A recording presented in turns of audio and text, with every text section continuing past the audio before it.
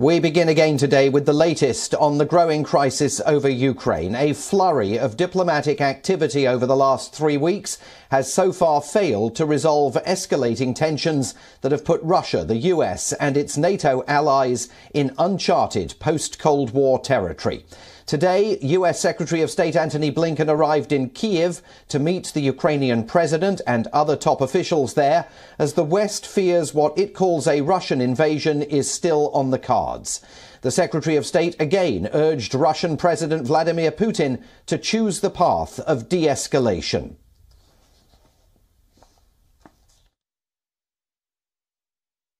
Uh, we know that there are plans in place to increase that force even more on very short notice, and that gives uh, President Putin the capacity, uh, also on very short notice, uh, to take further aggressive action uh, against Ukraine.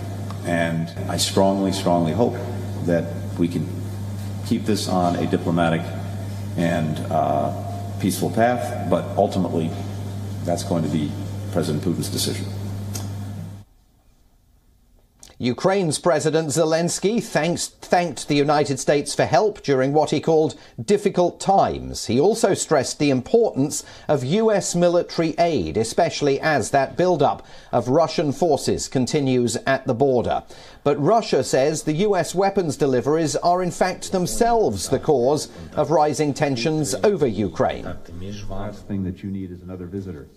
Uh, because I think uh, this support not only speaks to our strategic plans of Ukraine joining the alliance, but more importantly to the level of our military, our military supplies. Yes, we allocate the largest amounts for the military budget since gaining independence, but we still understand that if we want dramatically fast steps in modernizing the military, we need help, especially in these tough times.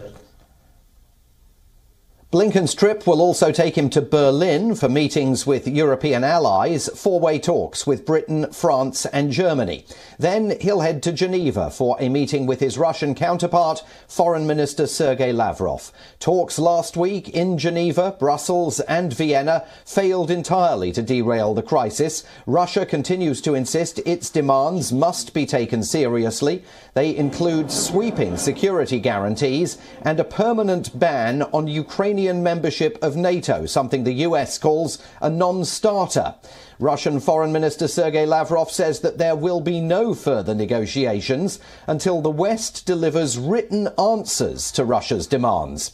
Meanwhile, French President Emmanuel Macron told the European Parliament that the EU must work on a new stability and security deal, one that they could then discuss with Russia. Macron says that Europeans need to rearm themselves, especially in the face of conflict on the continent's doorstep.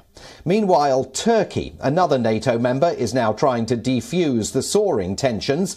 President Recep Tayyip Erdogan will visit Ukraine within the next two weeks. Turkey had angered Moscow by supplying Kiev with combat drones. The Kremlin has rejected Erdogan's past offers of mediation because of those lingering tensions. With tens of thousands of Russian troops massed on the Ukrainian border, between Moscow and the West have reached a post Cold War high. For the US and its NATO and European allies, nothing less than a vast pullback of those Russian troops will suffice.